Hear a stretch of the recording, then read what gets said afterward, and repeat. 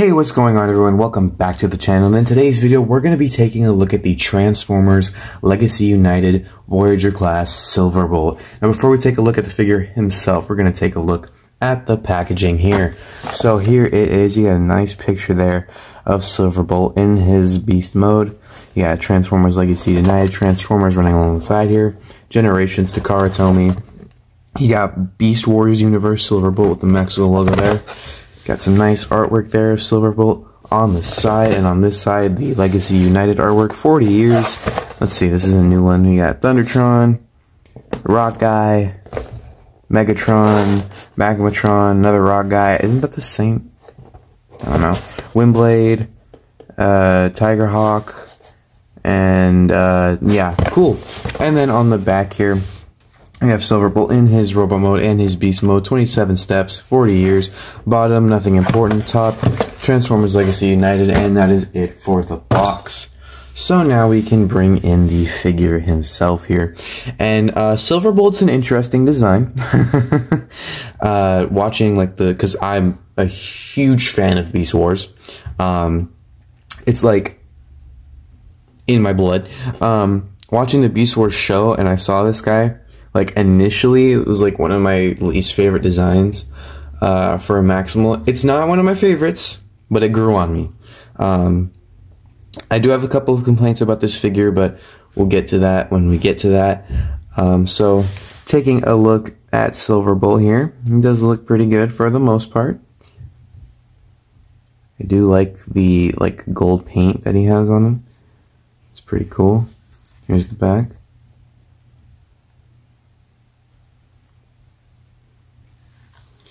Uh, articulation wise, his head is on a ball joint, but he can't really look up that much. Can't really look down that much. He can, I think, do a full 360. Yep, he can do a full 360. Uh, his arms, they go out that far. They go around that much before you hit the wing. I mean, you can move the wing, obviously, so he can do a full 360. But if you have the wings how they're supposed to be, then you're not getting that far. Do have a swivel there at the uh, bicep? And then you do have a double jointed elbow, but that is for transformation. So you will uh, bring this piece out here. But if you don't move it, then the arm goes up about that much. And you do have a swivel there at the arm. Uh, you do have waist rotation, but what you got to do is you got to come back here, lift this piece up, and then you can move his waist around there. Uh, legs go up that far, go back. I mean, about that far. and they go out. Let's move the arm here real quick. Out all the way up, pretty much. And then you do have 90 degrees of bend at the knee there. And the feet, they can go down for transformation. And you do have ankle tilt for either side. So yeah. And also his wings if you want to move them. Uh, they are, you know, on some some joints back there, so you can splay his wings out. And then for accessories, he comes with these two feathers, and he can hold them as swords, so he can put one in his hand and another one right here. So there you go. You can hold them if you want, or how they're he's gonna have them on my shelf. They can be put on his wings. So on the wings, they have two different pegs. So on this one, there's two prongs, and on this one, there's one tab. So you look for the one, this one has two slots. So this one will go right there, like so, to fill out the rest of the wing. And then this one will go over here. This one doesn't have two prongs, this one's just for the slots, so that one will go right there. And now his wings are filled out. So those are going to stay there for the rest of the video. I'm not going to take them down because um, I don't see the use of him holding feathers. so, yeah. Now, for some comparisons, here he is with Rise of the Beasts Optimus Primal. This is the only Rise of the Beast figure he's going to be compared with. Here he is with uh, Lio Convoy.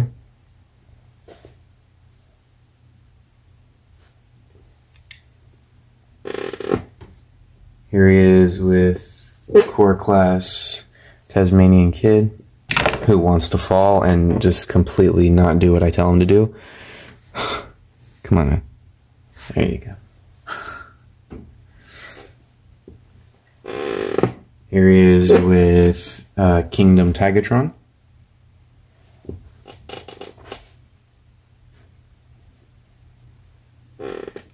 Here he is with Legacy Inferno. And then finally, here he is with uh, Legacy Evolution, Transmetal 2 Megatron. Why is he so huge? Oh my god. So there you go. So that's basically it for his robot mode. So now we're going to get into the transformation. So first thing we're going to do here is we're going to come to his arms. We're going to bring them up on that double elbow joint. And then uh, this is going to bring this piece out and you just want to straighten that out like so. And then same thing with this. Just bring that up and bring it back just like that. So now his arms look like that. Then you're going to come back here. I bring the wings back just for the sake of it. And then bring this tail piece up. And then we're going to come to his head here. Bring it forward. So you can then bring this all out and take the wolf head and bring it up. Then you can take his main head here and just flip it back so it's inside the body now.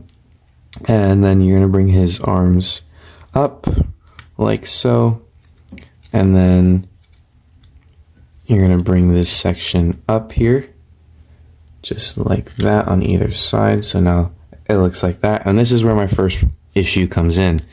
The arms joints here you have to pull on them to untab that. I feel like over time that's going to cause this joint to stress and then break. So I don't know how I feel about that. So anyway, then you once you untab that, you're gonna bring it out just like that. And then there's a little uh, slot here that that tab will go into. So just line those up and tab it in there. So it looks like that. Do the same thing on this side. Just pull this out like so and then tab it in. So now both sides look like that. And then you can bring them up and they will just tab together in the center just like so. And then you want to come to his crotch panel here and just flip it up. And that's literally the entire back of the beast mode just done. And then what we're going to do is we're going to come to this entire back section here, rotate it around just like so. Then we can come to each leg, rotate it all the way around. And then we're going to bring them back. And there's these little notches right here that are going to go into some slots on the inside of the leg. So just bring those back, line them up like so, and then you're going to take the knee and bend it forward, and then take the claw here and then bring it down. Do the same thing on this side, so bring this back, slide it in, bring the knee up, and then bring the claw down. And then what you want to do is just bring this entire section here down. And there's these two tabs that are going to two slots right there. When you bring this section down, there's a port right here, or two uh, ports that are going into these holes right there. So just bring that down, tab in the head, and then this uh, feather uh, back piece here has two slots and two tabs right there. So just bring those down, that'll tab in. And then just position the wings however you want. For now, we'll put them like that on his sides. So there is Silverbolt in his beast mode. Um, it's like a mix between a bird and a wolf. So it's interesting to say the least. um, I'm to move his wings up here and just bring him out. So, yeah. Interesting beast mode, Silverbolt. Yeah, that's definitely what you got going on here. So, let's take a closer look here. So you got some nice yellow eyes there for his wolf head. The claws here do look really cool. I will give him that. I do like that. Wings going along the back and the side here. Here's what he looks like from the bottom. And then the back. This is where my second problem comes in. His fists are literally just hanging out back here. I feel like that could have been done better, but uh, whatever. So yeah. Uh, articulation wise, the wolf head itself doesn't move, but the jaw does open. So you do get a little bit of open mouth movement there. Uh, the legs, all the same articulation, you know, but if you do want to move them up like this, you will have to unpeg them from that slot back there. Uh, you don't have a lot of movement in the central body at all.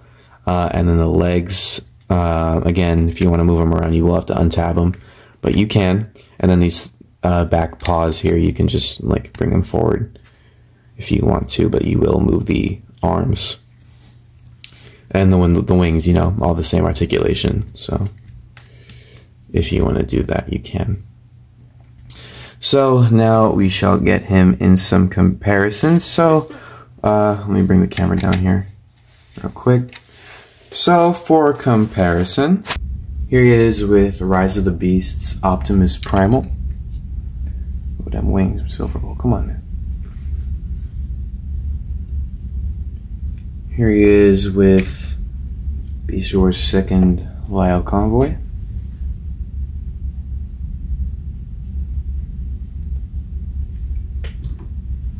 Here he is with Tasmanian Kid.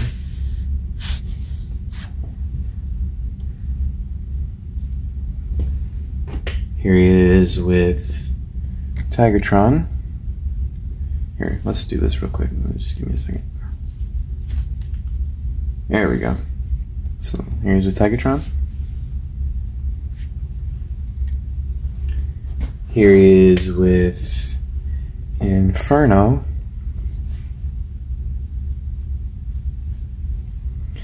And then finally, here he is with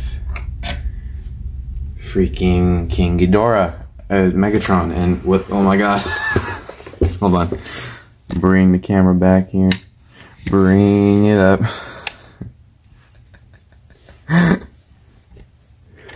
Bro, why is he actually? he should not be this big. but yeah, there you go. So there you go. There's the Transformers Legacy United Voyager class Silverbolt, and you know it's it's a pretty good figure. It's pretty cool. It's, it's different from from most of the Beast Wars figures I have. Um, uh, like they're all a lot of them are excuse me. a lot of them are crawling on fours, cats. So this guy's a different change of pace, and he's a mix of two animals. So it is different, uh, just like how Inferno and uh, Megatron were. Um, very different in terms of what I'm used of used to. Um, even though he is more basic, he still is that crawling on fours. But transformation's uh, interesting and fun, and I do really like it. Um, Silverbolt's cool maximal, and I, I love this figure a lot. Um, so yeah. Well, with that being said, guys, I hope you all enjoy this video. And if you did, make sure you hit that like button down below. If you want to see more from my channel, go ahead and hit that subscribe button down below. And uh, with that being said, thank you all so much for watching, and I'll catch you in the next Ray's Gaming Core video. Peace out, everyone.